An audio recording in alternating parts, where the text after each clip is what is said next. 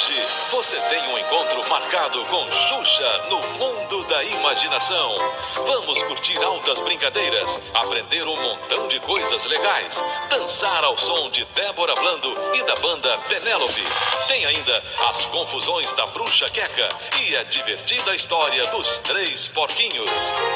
Hoje, nove e meia da manhã, tem Xuxa no mundo da imaginação.